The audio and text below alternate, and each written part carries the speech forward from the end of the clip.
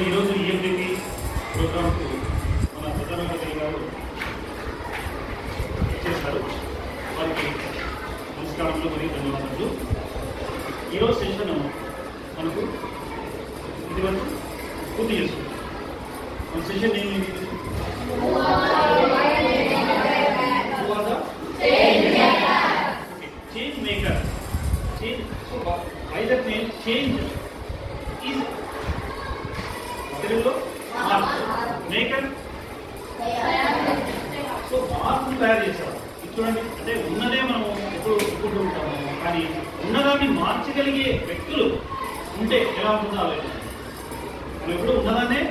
Accept చేస్తూ ఉంటాం కానీ ఉన్నదాన్ని మార్పు చేసే వ్యక్తులు ఉన్నారు మనుషులు సో వాళ్ళ గురించి తెలుసుకోవడమే.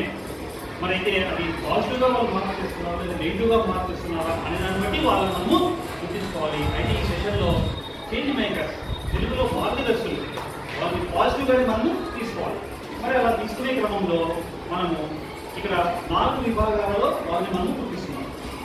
ఏ ఏ విభాగాలు ఒకటి మన క్లాస్ మన చుట్టూ ఉండే సమూహం నుంచి మార్గదర్శనం గుర్తించాలి రెండు మన ఫ్యామిలీ నుంచి మార్గదర్శనం గుర్తించాలి మన చుట్టూ ఉండే కమ్యూనిటీ నుంచి మార్గదర్శనం గుర్తించాలి చివరిగా ప్రపంచవ్యాప్తంగా ప్రపంచ వ్యాప్తంగా వరల్డ్ వైడ్ మన మార్గదర్శనంలో గుర్తించడం అనేది ఈ సెషన్ యొక్క ముఖ్య ఉద్దేశం. అయితే మనం ఈ సెషన్ చివరి సెషన్ నుంచి కూడా కొనసాగించబడింది. చివరి సెషన్ ఏమి ట్రైన్ న్యూ థింగ్స్ అంటే మనకై మనము కొన్ని కొత్త వాటికి ప్రయత్నం చేసాం ఓడిపోయిన ప్రతిసారి ఏం చేస్తున్నాం మనం మళ్ళీ ఎవరెవరి మార్గదర్శకత్వంలో తిరిగి ప్రయత్నం చేస్తున్నాము. సఫలమంటూ పొందుతున్నాం. అయితే అక్కడి నుంచి కొనసాగించబడ్డదే ఈ ప్రోగ్రామ్ ఇందులో ఏం జరుగుతుంది ఇప్పుడు మనం విఫలము సఫలము ప్రయత్నాలు చేసిన తర్వాత మన చుట్టూ ఉండే వ్యక్తులను గమనిస్తున్నాం. అంటే ఇదివరకే ఎవరికి విజయం సాధించాలో వాళ్ళని మనము ఎవరిగా స్వీకరిస్తున్నాము? మార్గదర్శులుగా స్వీకరిస్తున్నాం. అలాంటి మార్గదర్శులను మనము నాలుగు స్థాయిలలో ఎంచుకొని తర్వాత ఈ క్లాస్లో ప్రతి ఒక్కరు కూడా మీరు మీరు ఎవరినైతే మార్గదర్శులుగా గుర్తించాలో ఎందుకు గుర్తించాలో మీరు ఇక్కడ చెప్పాల్సి ఉంటుంది. అయితే మార్గదర్శులుగా మనం ఎవరినైతే గుర్తిస్తామో వాళ్ళకు ఉండవలసిన లక్షణాల గురించి ఇక్కడ ఒక చిన్న సెషన్ మనకు ఇచ్చారు ఏమేమి చెప్పారు? ఎన్ని విభాగాలు చెప్పారు వాళ్ళని? వాళ్ళ ఉన్న లక్షణాలని చెప్పారు? ఒకటి self knowledge and confidence. So మీరు గుర్తించే వ్యక్తులలో లక్షణాలు ఎలా ఉండాలి? వాళ్ళకి ఆత్మవిశ్వాసం ఉండాలి ఇంకా స్వీయ జ్ఞానం ఉండాలి. అప్పుడు వాళ్ళు ఉన్నదాన్ని మార్చగలుగుతారు. మనకి మార్గదర్శకులుగా ఉండగలుగుతారు. రెండవ లక్షణం ఏమి? ధైర్యవంతులుగా ఉండాలి వాళ్ళు. లేకుంటే వాళ్ళు అంటే ఎవరు ఉంటారు మీరు కూర్చుంటారు. మీరు మీరు గమనించే మార్గదర్శకులు మీ క్లాసులో ఎవరు ధైర్యంగా ఉంటారో వాళ్ళ కానీ మీరు తిరుగుతూ ఉంటారు. అంతే కదా? ధైర్యంగా లేని వ్యక్తి వెంట ఎవ్వరు కూడా తర్వాత కదా ఇది చాలా అవసరం. ఇప్పుడు మనం ఇందాక ఆ- సెక్షన్ నుంచి ఈ సెక్షన్ రమ్మన్నాం. కొంతమంది ఇంట్రెస్ట్ లేదు. వాళ్ళతో మెల్లగా సైడ్ అయిపోయారు. వాళ్ళు లేకపోవడం ఏమి? క్యూరియాసిటీ ఉంటుందా క్యూరియాసిటీ అంటారు. అంటే ఉదయం మనము మన గేట్లో నుంచి లోపలికి వచ్చేటప్పుడు ఈ రోజు నిన్నటికంటే కొత్తగా స్కూల్లో ఏం జరుగుతుంది? ఏం చెప్పబోతున్నారు? నేను ఏం నేర్చుకుంటాను?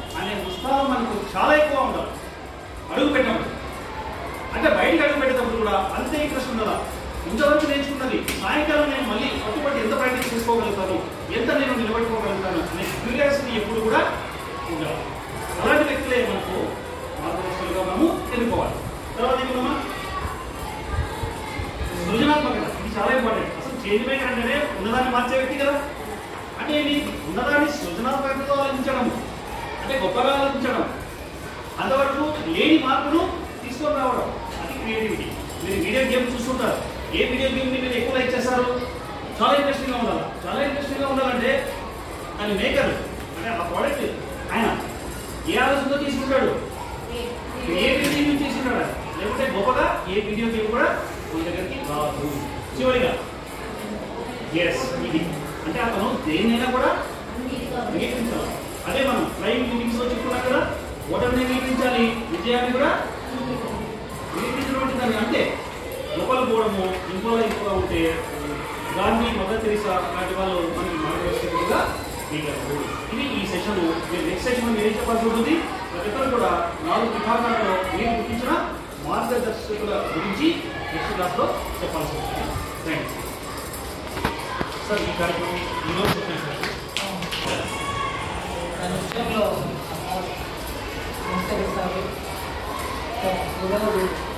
ఈ యొక్క ధన్యవాదాలు మనం ముఖ్యంగా తెలుసుకోవాల్సింది కలిగి ఉండాలి ఎలా కలిగి ఉండాలి పూర్వగా చేరి నేర్చుకుంటూ మనం ఉండాలి ఆ విధంగా ఉండడానికి ప్రయత్నం చేయాలి కాబట్టి నా వర్షాలు ఉండాలని ఆ నా వర్షాలు ఆచరించే శక్తి ఉండాలి. దాన్ని ఆచరించే గుణం ఉండాలి. నేను ప్రతి చెప్తాడు కదా? ఎవడో ఏమో అన్నాడని చెప్పేసి ప్రోగ్రాన్ని ఆఫ్ చేయకూడదు దానిగా ఛాలెంజ్గా తీసుకొని అంతకు ఉన్నతగా మనం తయారయ్యేటట్టు ఉండాలి ప్రోగ్రామ్ని కాబట్టి ఇచ్చిన అవకాశాన్ని మీరు కూడా మార్చాలనుకుంటున్నాను. ఇలా మార్పు రావాలి. దీని యొక్క ముఖ్య ఉద్దేశం ఏదో అది మీరు చూసినప్పుడే మాకు ఆనందం తర్వాత ఎదలాది కదా ప్రజలు ఉంటే బెస్ట్ మార్పు రావాలి కదా మీరు వస్తుందని ఆశిస్తాం. Okay? Thank you change makers మా క్లాస్లో నా నాకు మార్గదర్శులుగా ఉండేవి ఇద్దరు ఫ్రెండ్స్ ఉన్నారు. వారి పేరు ఒకరి పేరు శ్రీను. ఓ నిజానికి చెప్పాలంటే నేను మ్యాథ్స్లో కొంచెం కొద్దిగా వీక్ నే నాకు ఏదైనా డౌట్ వచ్చినప్పుడు కానీ ఏదైనా అర్థం కానప్పుడు కానీ సార్ లేనప్పుడు నేను వెళ్ళి శ్రీను దగ్గర మరియు మదన్ ఏదైనా సైన్స్ వేర్ ఉన్నప్పుడు ఇలా నాకు ప్రాజెక్టులు చేసి పెట్టాలంటే కొంచెం ఇన్నోవేటివ్గా ఐడియా ఇచ్చేవాడు మదన్ కాబట్టి she also he's also one of the my change maker and my ఫ్యామిలీలో వస్తే my mother and father and my ఫ్యామిలీలో వస్తే మై మదర్ అండ్ ఫాదర్ వీరు నా కోసం ఎంతో కష్టపడేవారు మా డాడీ చదువుకోలేకపోయినా చదువంతా నన్ను చదివించాలని మా డాడీ ఎక్కువగా ఆశపడేవారు మా అమ్మ పేరు నాగమ్మ మా డాడీ పేరు రామకృష్ణ ఫ్రమ్ మై కమ్యూనిటీ మా కమ్యూనిటీలో నన్ను ఎక్కువగా ప్రోత్సహించేది మా previous head master Sridevi madam గారు శ్రీదేవి మేడం గారు చివరిగా వెళ్ళేటప్పుడు ఒక మాట చెప్పారు సమయం ఎప్పుడు నీ కోసం ఆగదు శశి ఓ నువ్వే సమయం కోసం పరిగెత్తాలి అని చెప్పేవారు. ఆ విషయంగా మేడం నాకు మార్గదర్శులుగా నిలిచారు. మా పద్మ మా మా class teacher Srimati Padmavati madam గారు. ఈమె బయాలజీ మేడం బయాలజీ టీచర్. నన్ను ఎక్కువగా ఏదైనా సబ్జెక్ట్ పరంగా కానీ దేని పరంగా అయినా కానీ నాకు చాలా సపోర్ట్ చేసేవారు. మరియు ఏదైనా నేర్చుకొని అప్పచెప్తున్నప్పుడు నేర్చుకొని అప్పచెప్పడం కాదు ఏదైనా నోట్స్లో రాయడం వలన "ఓ, నీకు స్పెల్లింగ్ కూడా వస్తుంది ఇలా నేర్చుకో అని చెప్పి నాకు నేర్పించేవారు. పైగా ఎక్స్ట్రాగా లీజర్ ఉన్న పీరియడ్స్లో కూడా నా కోసం క్లాస్ చెప్పేవారు. మరియు ఫ్రమ్ ద వరల్డ్ అంటే వాళ్ళు ఏమైనా గొప్పవారు ఉన్నారు కదా వారి గురించి చెప్పబోతున్నారు. నాకు ఇంగ్లీష్లో సెకండ్ క్లాస్ సెకండ్ సబ్జెక్ట్ అయిన ద సౌండ్ ఆఫ్ మ్యూజిక్ లెసన్లో లో ఈ ఎల్విన్ గ్లిన్నీ గారి గురించి తెలుసుకున్నాను ఈమె ఓ- ఈమెకు చెవుడు అయినా కూడా ఈమె మ్యూజిక్ని చాలా ఇష్టపడేవారు. మ్యూజిక్ అంటే తనకి ఎంతో ప్రాణం. మ్యూజిక్ని చెవితోనే వింటేనే కదా సరిగ్గా నేర్చుకోగలమని వాళ్ళమ్మ చెప్పేది. అయినా కూడా తను వినకుండా తన కాలి ఫింగర్స్తో ఆ సౌండ్ యొక్క ధ్వనిని విని తాను మ్యూజిక్ని నేర్చుకున్నారు. మరియు డిఆర్ అంబేద్కర్ గారు. ఈయన తక్కువ కులస్తుడైనప్పటికీ స్కూల్లోకి రానివ్వకుండా కూడా చదువుకొని మన రాజ్యాంగాన్ని రూపొందించారు. కాబట్టి ఈయన కూడా one of the my change makers my name is Desha Shikhiran I'm studying in ninth class B section నా- మా- నేను నార్మల జిహెచ్ఎస్ బాయ్స్ ఉన్నత పాఠశాలలో చదువుతున్నాను. District Anantapuram district My name is Madan Kumar. I am studying 9th class A section in GHS Boys Narmada, Anantapur district. Change makers మార్గదర్శకులు మార్గదర్శకులు అనగా మన జీవితంలో ఏదైనా కష్టాలు వస్తే దాన్ని మ- దాన్ని మళ్ళీ మనం ఎలా కంటిన్యూ దాన్ని మళ్ళీ మనం ఎలా కొనసాగించాలి దాన్ని ఎలా దాటుకోవాలని చెప్పే వాళ్ళే change makers in my class change makers Shivamani ఈ అబ్బాయి మా క్లాస్ లీడర్ ఈ అబ్బాయి నాకు ఏదైనా సబ్జెక్ట్ పరంగా డౌట్ ఉన్నా లేదా ఏదైనా హెల్ప్ కావాలన్న ఈ అబ్బాయి నాకు ఎంతో సాయం చేసేవాడు మరియు ఈ అబ్బాయి నాకు నేను మ్యాథ్స్ సబ్జెక్ట్ నేను మ్యాథ్స్ సబ్జెక్ట్లో చాలా వీక్ అబ్బాయి నాకు ఏదైనా మ్యాథ్స్ సబ్జెక్ట్లో నాకు ఏదైనా డౌట్ వస్తే అబ్బాయిని వెళ్ళి అడిగితే అబ్బాయి నన్ను నాకు క్లియర్ చేసేవాడు మరియు శశికిరణ్. శశికిరణ్ ఈ అబ్బాయి నైన్త్ బి సెక్షన్ మా నా ఫ్రెండ్ ఈ అబ్బాయి ఏదైనా తెలుగులో టాపర్ టాపర్. నా- నాకు ఏదైనా తెలుగు సంబంధించి పద్యాలు కానీ ఇలా ఏదైనా చ ఏదైనా చదవడం కానీ ఉన్నది ఉన్నది ఉంటే ఈ అబ్బాయి నాకు సులభంగా నేర్పించేవాడు.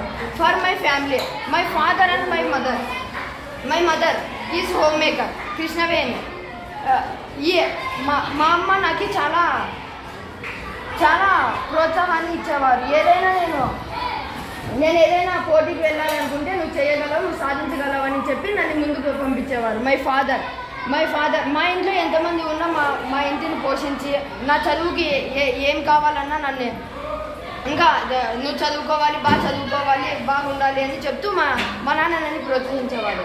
For my కమ్యూ community Shrimati Rajeshwari Rajeshwari madam. ప్ర- ప్రస్తుతం మన మన మా స్కూల్లో స్పెషల్ ఎడ్యుకేషన్ స్పెషల్ ఎడ్యుకేషన్ టీచర్గా పనిచేస్తున్నారు రాజేశ్వరి మేడం గారు. రాజేశ్వరి మేడం గారు ఎంతో నా నా మనస్తత్వంతో ఎంతో మంచివారు. ఈమె ఎవరైనా టీచర్ ఇప్పుడు ప్రస్తుతానికి హిందీ టీచర్ ఏ- ఏదైనా ఇంపార్టెంట్ వర్క్ ఉండి అతను లీవ్ పెట్టారనుకోండి ఆ లీవ్ని కూడా ఆమె వేస్ట్ చేసుకోకుండా ఆ పి- ఆ పీరియడ్ క్లాస్కి వచ్చేసి హిందీ టీచ్ చేసేవారు. ఇలా ఎన్నో సబ్జెక్టులు ఏ సబ్జెక్ట్ అయినా టీచ్ చేస్తారు రాజేశ్వరి మేడం గారు. ఇప్పుడు ఇంకొకరు for my community Sri Harinath sir. Present Hindi teacher.